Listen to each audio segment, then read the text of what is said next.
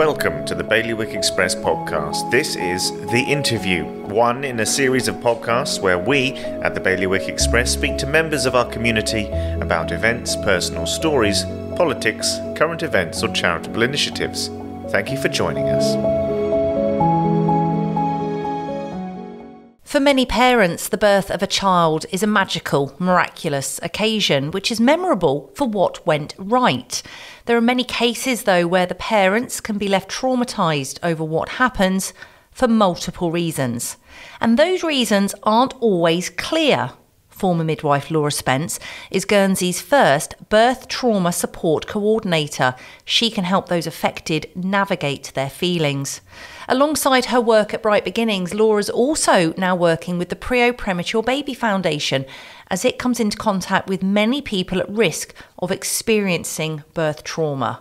But Laura says the reasons for the birth trauma are not always that clear. I very quickly was offered a position at Bright Beginnings Universal Children's Centre yeah. to, um, I mean, they already offer a fabulous range of um, support services for parents and families from conception right the way through till yeah. the child will start um, school.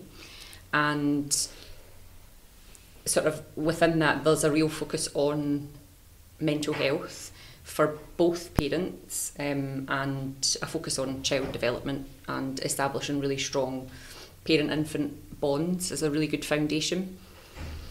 They are, I would say, we're becoming more and more aware of the impact of the birthing experience and the lasting effects that that can have on people.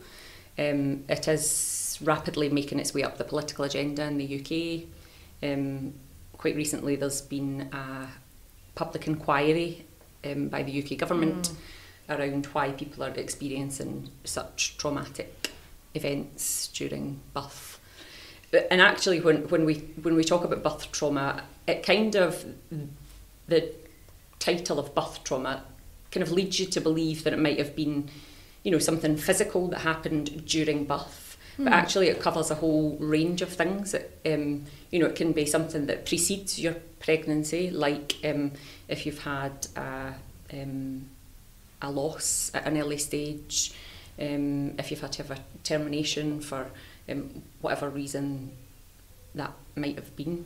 Um, reproductive grief in terms of if you're requiring you know assistance to get pregnant in the first yeah. place um, and then once you are pregnant, things like hyperemesis, so extreme pregnancy sickness, mm. um, and you know, there's huge things that can impact that you that you bring with you into pregnancy. Um, and essentially, my job at Bright Beginnings was to um, thread the theme of birth trauma and raise awareness of you know the sort of prevalence of it and make sure that we're catering to the needs of those parents um, yeah. across a whole range of things. And as you said, birth trauma can be something that could far precede this pregnancy, and this labour and birth. Precisely. I'm guessing it will also go on for a long time after. Absolutely. Just because you give birth and you have, hopefully, have the baby in your arms afterwards, um, that doesn't mean the end of the trauma, I'm guessing. No, absolutely. And, and the thing is, you know, we, we need to be considering the trauma that people have had across the course of their life because hmm. obviously mm. um, looking at adverse childhood experiences is a massive thing um, that can you know there are certain risks or certain things that have happened to people throughout the course of their lives before they get to the point yeah. of conception and then journeying into parenthood that they're bringing with them and many of those things make them a little bit more vulnerable to sort of poor mental health during um, pregnancy and subsequently childbirthing.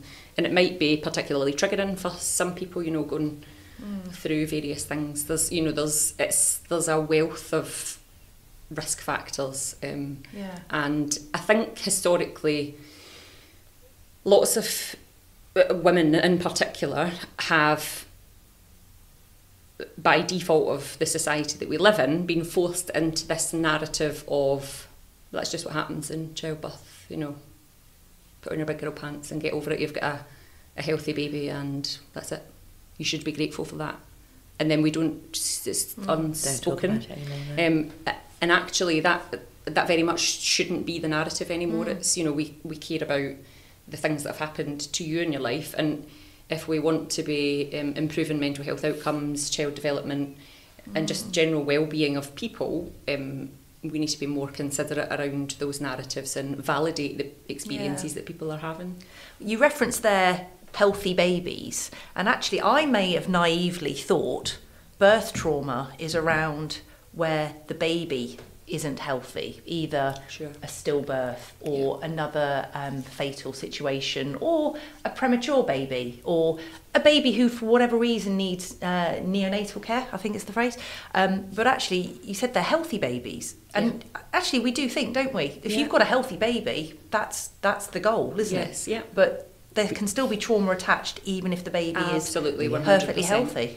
and and I think that's you know that surprises people Mm. sometimes and probably feeds into that that narrative again around oh, you know your own internal narrative that you're having those conversations with yourself.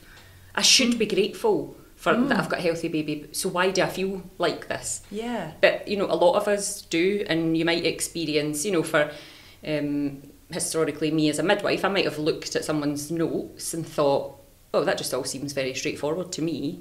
But it's all about how it's perceived and, and how they've felt in that situation, what the communication was like, you know, what were the circumstances round about that birth, how did they internally feel? Because even though you know, on the whole, they might feel that it was a really positive experience. If they felt scared, out of control, if they felt as if they were going to die, a- any of those things can um, sort of just play into it and leave some lasting trauma. Um, and, and you know, you don't always necessarily recognise it at the time because it you're very kind of task focused. You are living feed to feed, nap to nap, changing the nappies. You're one foot in front of the other, just trying to get yourself through those very challenging early days.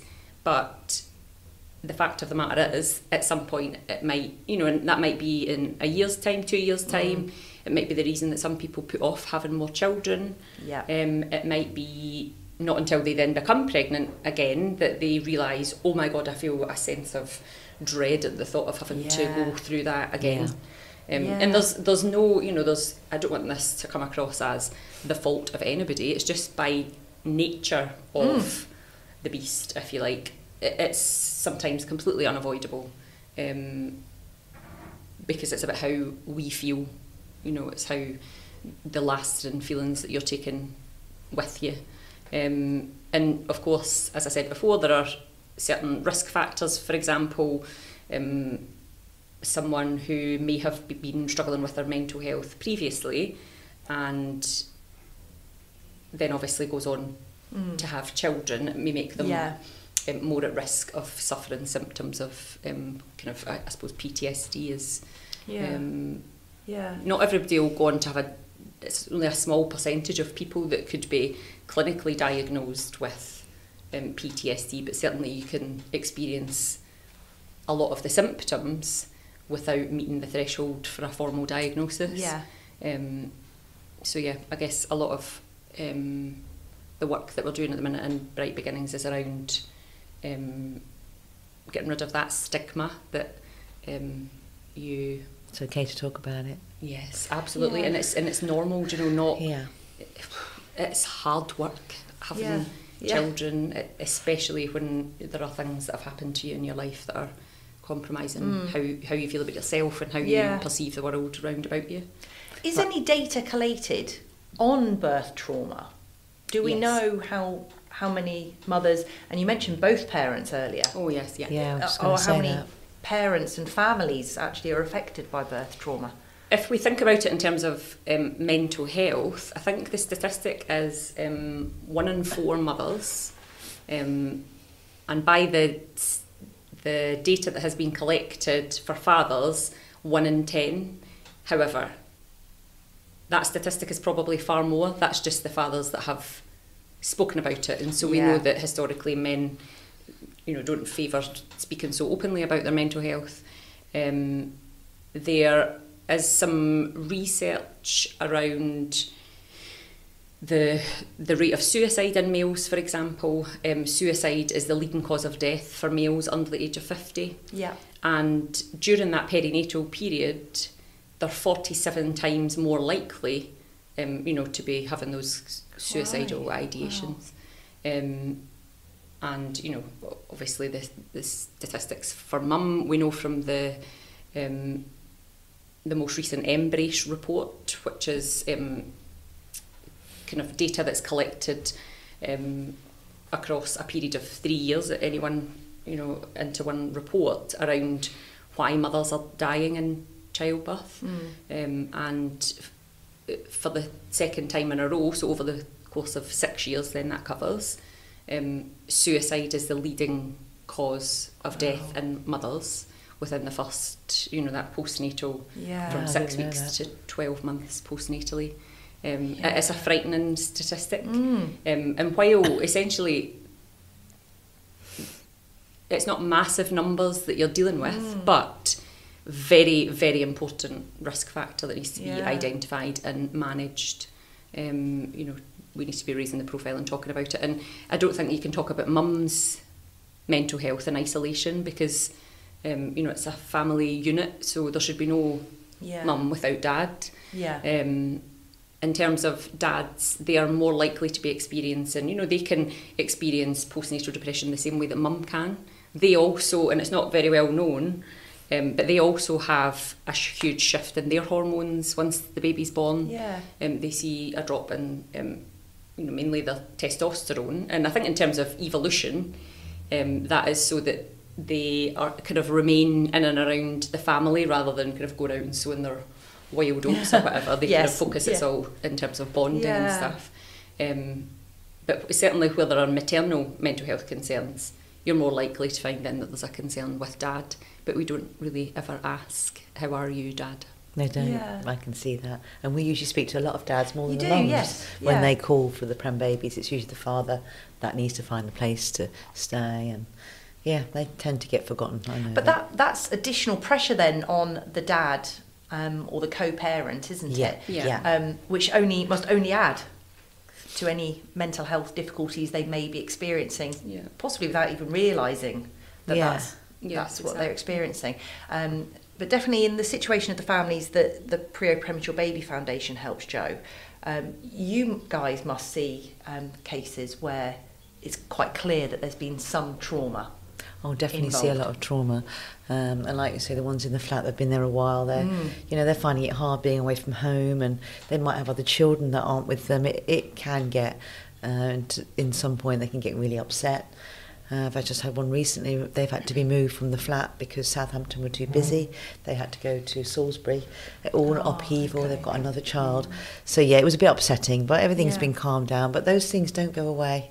Um, and like you say, they, they Yeah. leave a lasting effect. Absolutely. You know, you've had to move and you've got a little baby going to another hospital. And so that's, you know, it's managed at the time for what it needs to Yeah. be. But, you know, I think we probably don't appreciate the gravity of that long term impact, No. do we? Um, there's probably not enough um, done around it. But I think Exactly. this will be quite a strong collaboration in yeah, terms I'm so pleased Yeah. that we can work together on this because I mean, a lot of people don't, like you say, don't even come back to me and say it's been really hard. But at the time, you know it has. So it'd be nice to be able to say, look, Laura can help out if you need anyone to talk to. Yeah. Because, I mean, even with me and, and Andy, it was the same. He, he really suffered. And he still thinks about it a lot today. But And is that when so when Seb was when born, Seb was born, yeah. you you were living in the UK. living in the UK, By the time Daniela was born, I'd you come were back to in, Guernsey. You were all living in Guernsey, but Andy was away. I remember he was him away. telling Yeah, me. he missed the birth. But so yeah, yeah, but that and it's that again.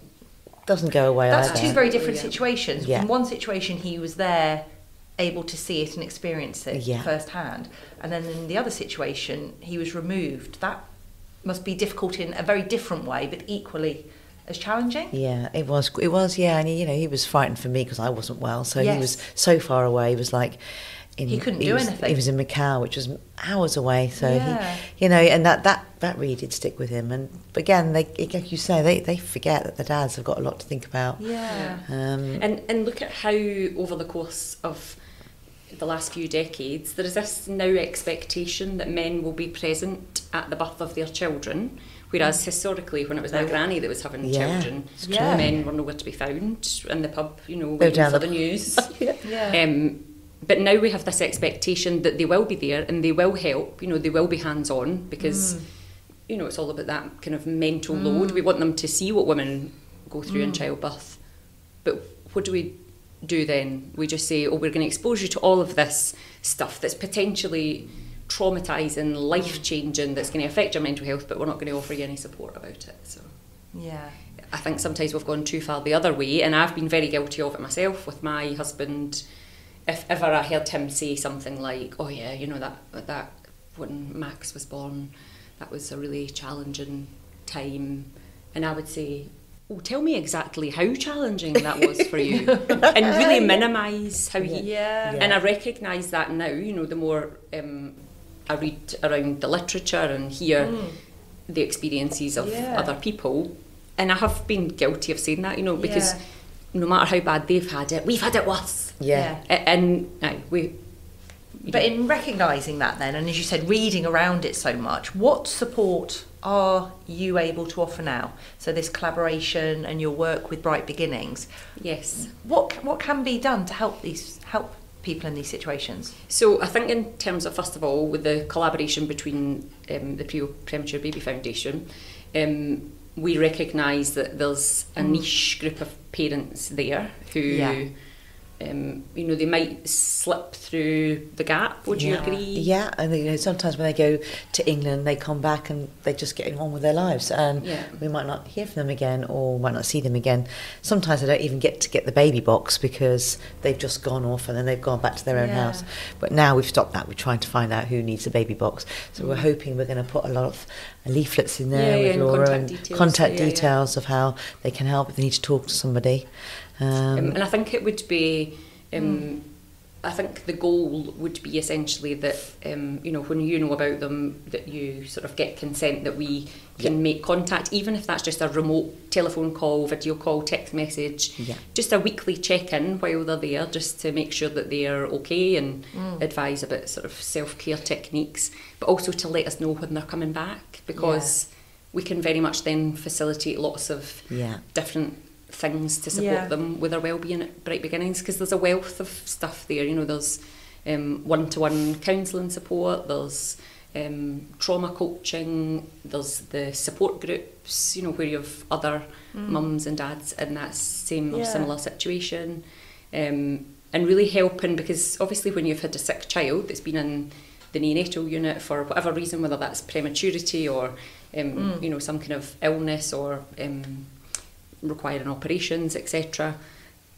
It's very much, um, and I don't know if you agree or disagree, but you know, a lot of those initial cares are done by the special care staff, the doctors, the nurses, and you're not necessarily that hands-on with your baby because, for one, you, you know, they're probably you're terrified about infection and bacteria and all those things. And also, they're, they might be in an incubator, they might be needing support with their breathing, they're connected up to lots of um, tubes and equipment and medications um, that you, you, you know, you don't want to disturb that in any way, shape, or form. So you might yourself become a little bit resistant Yeah. to even want to attempt get the doing that because yeah. Yeah. and and obviously then there's that delay you might not be having the same amount of skin to skin as someone who's been looking after their baby from the minute it was born um, and so we can really help to promote that and support the parental Yeah. well-being and um, the bond with the baby um, Yeah, I have known of cases that, you know, the baby's been so tiny, it's taken them months to actually hold the baby. So that bond can take a while if you haven't actually even held the baby. Um, I- luckily, I was okay. I remember Danny just gripping my little finger, and that was the end of it. But you know, sometimes you're just whipped away, and you can't Yeah. actually. Um, And again, it must come it. back to, as we said earlier, that then people feel, parents must, in some cases, feel like they should feel grateful. Oh, my baby has been in an incubator for, I don't know, a couple of months Yeah. maybe. But now I've got my baby, I can hold my baby and I'm at home with my baby, everything's fine. I should be grateful for the situation I'm in now. But that trauma is there, isn't it? Exactly, and probably, you become very hyper vigilant then. Yeah. As the baby's breathing normal. Yes, I- and and you, yeah. you probably become really tense and anxious around the baby's every movement. And you know I did that's do that. I that's that. normal to Yeah, experience that. But also you know, there's ways that we can facilitate that to be an easier transition. Yeah. Um, that I think we're missing out on that opportunity to support those parents at the moment. Um, and so, yeah, I think essentially we're really good, strong collaboration to Definitely. address um, an issue that we have here. Because as we were chatting about down the stairs before we came up, um, that it's you know it's not just the the parents of the baby that are affected. Um, you know, you might have there are a lot of blended families now, so this might be um, a new relationship and they've had a baby together, but we can't forget about the existing children from previous relationships and actually what are the situations around um, the partners, Yeah. the ex partners, and the children there. How does that affect it? Um, but also the financial repercussions Yeah, okay. because That's if, a, that comes if up you a have a lot. partner that's then off island with a baby, what is the um, paternity leave like in Guernsey? You know, it's not Yeah. very generous. My Mm. husband didn't. He used two days annual leave, I think, and then was Yeah. back to work on the Monday. Um, so very quickly, you might see that dad or the partner has to come back Yeah. to the island to get back to work very yeah. quickly, and then is probably using that week's wage to go and visit his partner and the baby. You know, it, it has a much wider impact than we appreciate, and obviously that's just kind of from the outside looking in, and it probably feels really awful for those families um, at that time. It kind of just throws everything up in the air, doesn't it? For, It does. So the support that's being offered then through Bright Beginnings and now in the collaboration with the PPBF, is this new? Has, has, has anyone done this kind of support over here Um, before? it's so- new, I think, ish with you, isn't it? It's, you brought this to the island, so I'd say. um, Yeah. the um, perinatal mental health support has been um, kind of sat through bright beginnings for yeah. um, some time, obviously, since the, I think, seven or eight years yeah. since um, it was initially founded. Um, and Rachel Copeland, the director there, is very passionate about, um, mm. you know, offering support to families. Um, and I guess while I was a, mid, a clinical midwife for a long time, I, my passion always lay with perinatal mental health Okay. through my own lived experiences. Yes. Um, so I have three children. Um, my eldest will soon be 15, and then I have a nine-year-old and a six-year-old. Um, my daughter has some significant learning disabilities, epilepsy, autism, Okay. ADHD, a variety of things, and she goes to a special needs school. And I, on reflection, think that the experiences that I have had throughout healthcare with my daughter, she's had a lot of kind of medical trauma in her Okay. life. Um, just you know, by she doesn't want to do something, but we need to explore it and um, It's frightening for her. Yeah, yeah, it's really frightening for her. And, Yeah. um, I think then that probably fed into, you know, when I then was having the boys, that I didn't want to leave her with anyone, not even my own mum. So when I went in to have my son Max, I was in the UK at the time, um, she had had a seizure on, so my son Max was born on Boxing Day, and Jodie had had quite a big seizure on Christmas Day night after Oh. all of the excitement. So we were Oh. blue lighted into um, hospital, and I actually asked if we could just be discharged because I was quite heavily pregnant, and I could feel that there was a shift beginning to happen. And I thought, oh, Yeah. we need to get home because I don't need to be in labour on the children's ward. I'm sure that's the last thing that they need. Um, Yeah. And a few hours later, then my waters broke and subsequently went into labour. Yeah. Um, but I was very quick to be discharged because I couldn't stay in the hospital. I was desperate to get home to her, Yeah. to care for her needs. Yeah. Um, and then I had my son Lewis in Guernsey, and while it was all very straightforward, there were some medical complications with myself. I had a heart condition Okay. um, that I hadn't discovered until you know part way through the pregnancy. Oh, right. I had gestational diabetes. I had my daughter at home. I had my two and a half year old at home. Um, and by this point, we're not surrounded by lots of family on an island because we'd moved away from family by then. so you know, the support network is different That's then. the I don't have my mum around me. I don't have um, sister, aunties, best Yeah. friends. Um, and don't get me wrong, I was well supported by what I would call the family on Yeah. Loveridge Ward, all the lovely midwives and friends that I had um, through work. But it was a very fast delivery, and I was really traumatised by the end of it. I remember I didn't want to leave the house for at least the first kind of four or five weeks. Okay. Um, my husband didn't have much time off work, and that meant obviously I was having to go straight back into uh, school drop off, school pickups, um, and and manage that whole load without the su- the support network that I had with the previous kids. Yeah. But the you know the existing issues that my daughter had still remained. Um, yeah, and I, I, I had some significant um, postnatal issues. Felt suicidal. Um, but I had therapy for that, talking therapies, and then I was referred into um, for some EMDR therapy, which is the kind of gold standard treatment for PTSD. Um, and you know that was great, and it resolved a lot of my issues.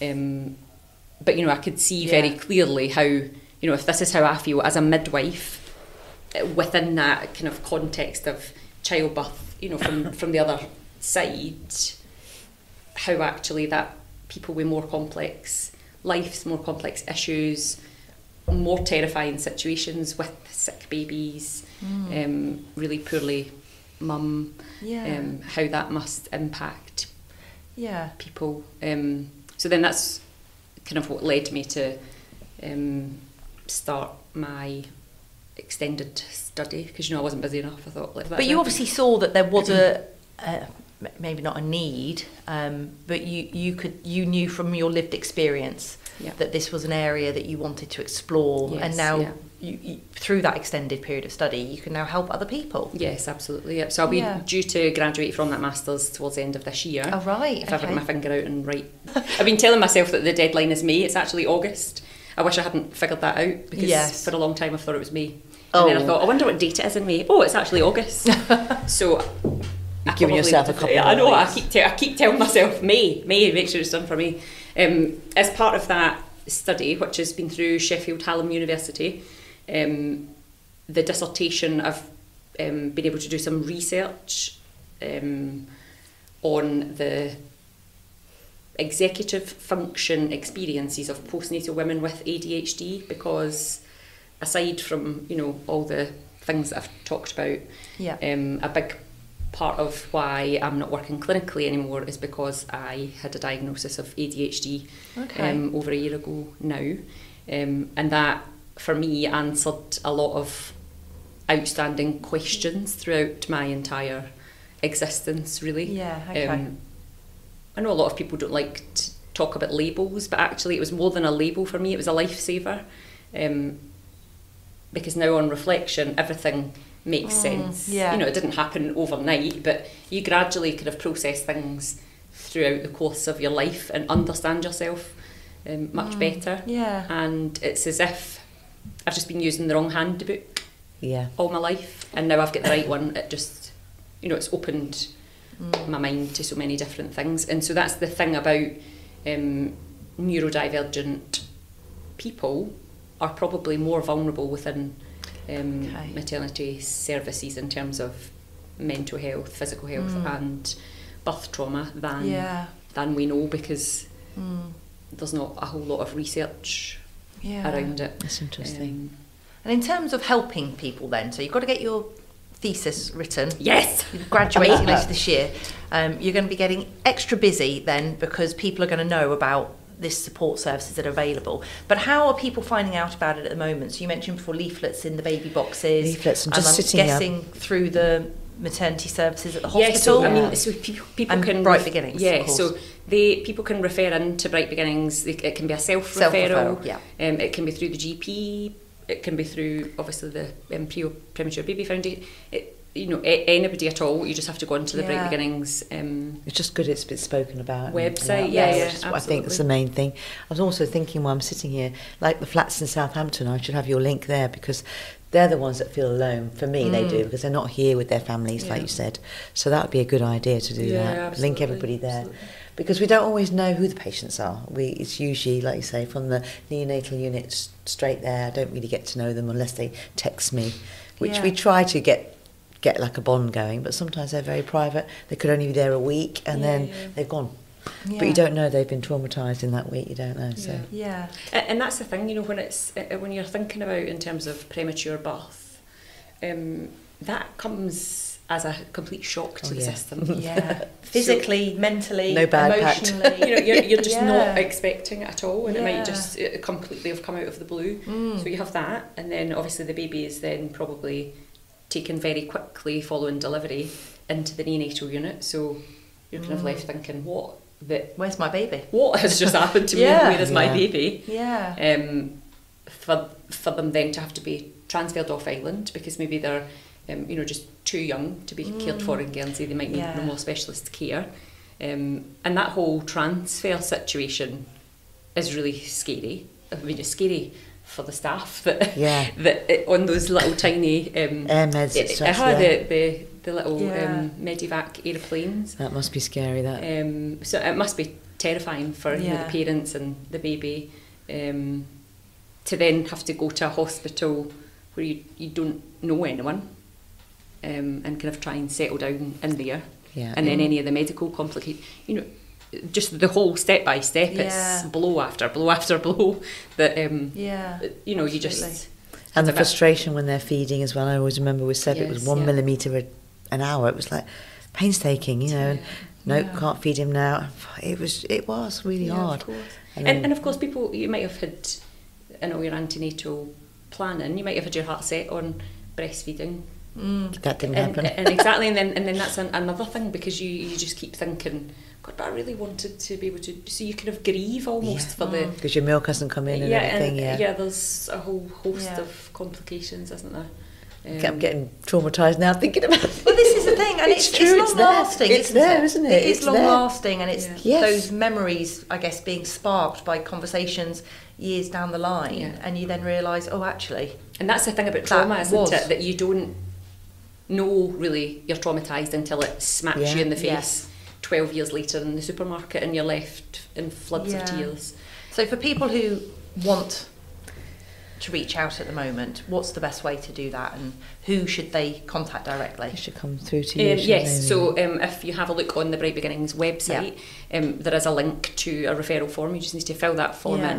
in, um, and the team have set up a kind of really um, swift, smooth process where one of us will pick up that Yeah. email and make. We aim to make contact within forty eight hours, so that you know there's not massively long waits because when you need help, Yeah, you need help. yeah. yeah. Um, and normally it's taken people a while to ask for it, to recognise that they need it, and it's really difficult to ask for help. You don't want to ignore it, do you? Exactly, yeah. and so um, Teresa, Amy, Lizzie, Faye, and I in the office, um, you know, we'll very quickly try and make contact just to make sure that that person is okay. Mm-hmm. Just take a, a very brief history and um, make sure that they're safe and um, we then will take that referral. We have a Monday morning meeting where we have a look at all the referrals that have come in over the previous week and we discuss them and we try and work out who would be the best person to support them going forward. Um, and then that once that key person, so family wellness practitioners, um, they will be assigned a person who will then contact and go into things a little bit more detail. Um, and then we'll meet up and explore a sort of bespoke um, support package, if you Yeah. like, that um, you know will explain all of this, the range of support options that we have, and kind of build that around to suit them. And that might just be you know a weekly cup of tea and a chat to see how the previous week has been, um, and you know obviously following because we have women coming to see us from antenatal, post birth. Um, we can do um, like a birth debrief just to chat Yeah. through, you know, how they've been left feeling since they've delivered.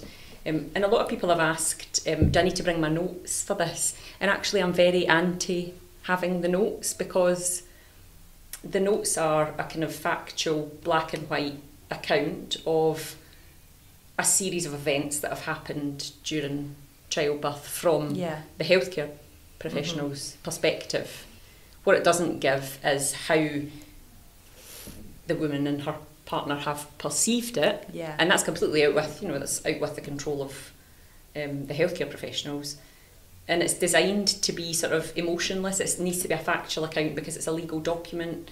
Um, and so I'm only interested to then hear, well, tell me about it, why, let me understand why you've been left feeling this way, like, um, did you feel frightened, etc. And then we just try and kind of work through, Yeah. um, work through those things. And these talking therapies are so um, can be so successful, can't they? oh yeah, They're so important. And also, though, the I think the value of um, that peer support as well. You know, if you, Mm. if they're coming to support groups, Yeah. Shared experiences to know that you're not alone. Mm. Um, and so a lot of that is facilitated, um, particularly by um, Amy, Teresa, and Lizzie. Um, you know, they have the Mum's Comfort Zone, um, which is just a lovely Yeah. group, and they eat a cup of tea, a bit of cake, and just a really nice kind of guided conversation, working on self care um, techniques and stuff. Um, Yeah. We've all now done the um, decider skills training as well, so that we can, you know, we can look at that um, self-regulation when yeah. people are at home and then hopefully be able to teach some of those skills then onto their children as their children grow. Um, so, you know, it's, um, yeah, it's been a really, a really enjoyable job so far. Very grateful to be there. Um, and in terms of fathers, mental health, you know, they, the fathers are more than welcome to come and access any of the support there. But I understand that it's a difficult, they're difficult to reach Yeah. sometimes because they might not recognise, for one, that they are struggling with their mental health, and number two, they might not want to speak to anybody about it. Maybe Mm. particularly a woman. I don't know. Um, so yeah, I think um, we're kind of working on that in the background to see how we can better Yeah. support male mental health locally and um, Might be worth getting a, a man on board yeah. to help with the. So, um, aside from the birth trauma work, I am collaborating with someone called Mark Williams, who is um, an international fathers mental health campaigner. Okay. He um, is Welsh and he has a very strong lived experience of postnatal depression from his wife, but also from his perspective. His son is 20 years old now, and his wife experienced some really severe postnatal depression. And as a result, then he had to take some time off work um, following that birth to you know care and Yeah. support support his wife. Um, but detrimental to his own mental health. So by the time his wife was beginning to recover, his mental health was taking a bit of a nosedive. So he's now made it his life's mission to support men in their mental health. And, you know, he's um, done a lot of different campaigns, one of them being the How Are You Dad um, campaign. And, you know, he does a lot of work within his own community, but also internationally. He's done Mm. an international keynote speaker. He's written lots of books and stuff. So um, It'd be good to ho- link with that one. hopefully I can kind of link him in Yeah. with the whole kind of network in Guernsey and he can Yeah. advise us and um, support how we approach Yeah. father's mental health going forward. Because that support network is is there and it's growing, and it will only continue Yes, it to can- grow yeah, then it through this only go up, collaboration yeah. and through your work and and through people like Mark Yes, who yeah. you're bringing in as well. I've always wanted to with the charity to go that next step. So it was really interesting bumping into Laura and helping out with the parents because you know it's okay giving a baby box and getting the flats, but there's, Yeah. there's more there to it. So Yeah, yeah, it's been be wonderful good to, to, yeah, collab with explore uh, that Bright together. Beginnings. Um, hopefully it's going to be a success and we can help lots of people. Be a blossoming friendship.